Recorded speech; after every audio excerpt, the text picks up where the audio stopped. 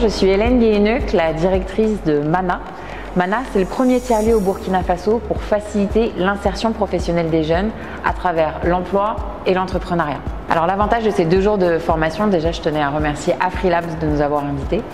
c'est justement d'avoir pu enfin échanger aussi avec différents hubs, de pouvoir partager nos problématiques, nos opportunités, euh, les programmes qu'on souhaite déployer et quelles sont les synergies d'action qu'on peut justement déployer.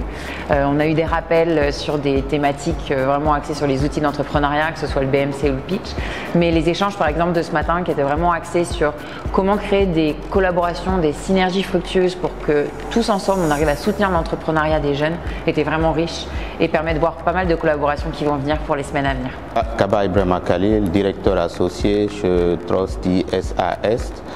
Trusty, nous sommes une société qui, accompagne et investit en position minoritaire dans les jeunes euh, entreprises et les startups à fort potentiel de croissance. Et cet atelier physique, ce programme de formation organisé par euh, AfriLab, qui est le réseau des hubs africains, nous a permis de nous retrouver tous plus d'une vingtaine de hubs et de structures d'accompagnement pour échanger sur les problématiques qui sont vraiment centrales dans la conduite de nos activités au sein de nos différents hubs. Ça nous a permis vraiment d'aborder des thématiques et un échange, euh, un partage d'expériences et de procédés qui vont permettre à tout un chacun de mieux améliorer sa façon de travail, de travail et, se réseauter pour euh, l'intérêt de tous les membres du réseau. Je m'appelle Boel Diop, je suis la directrice des programmes d'accompagnement chez Mexen Fabrique. Mexen Fabrique est une organisation africaine sénégalaise qui vise à travers euh, l'incubateur de soutenir des entrepreneurs à impact. Je suis très contente d'avoir participé à ces deux sessions qui pour moi sont, vraiment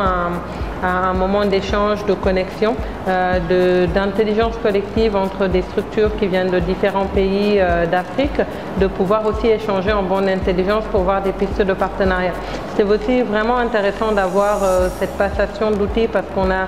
des outils différents, on travaille de manière différente et je trouve que c'est toujours en complémentarité et en tant qu'organisation, en tant que dirigeante d'incubateur, moi ça m'apporte toujours beaucoup euh, de connaissances mais aussi beaucoup euh, d'inspiration à voir euh, d'autres organisations, d'autres personnes se réunir ici. Et aujourd'hui, le moment est encore plus solennel, c'est la semaine de l'entrepreneuriat comme on le sait. On est à la place du souvenir qui est un endroit emblématique à Dakar et c'est tellement intéressant de voir ce fusionnement entre les entrepreneurs, les organisations, mais aussi ces jeunes étudiants qui viennent euh, les étoiles plein les yeux euh, nous parler et nous confier leurs rêves.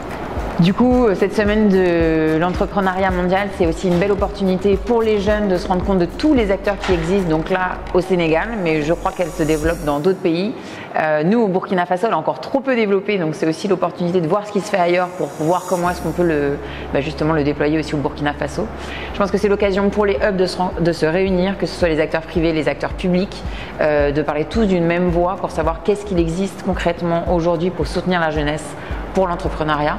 et pour donner accès en fait à ces jeunes à toutes ces solutions qui existent aujourd'hui. La semaine de l'entrepreneuriat est une initiative à encourager, à saluer, surtout quand elle est portée par euh, les hubs et ça permet de mettre en, ça permet au moins de donner de la visibilité sur ce qui se fait dans les différents écosystèmes et, et avoir un échange fructueux entre les,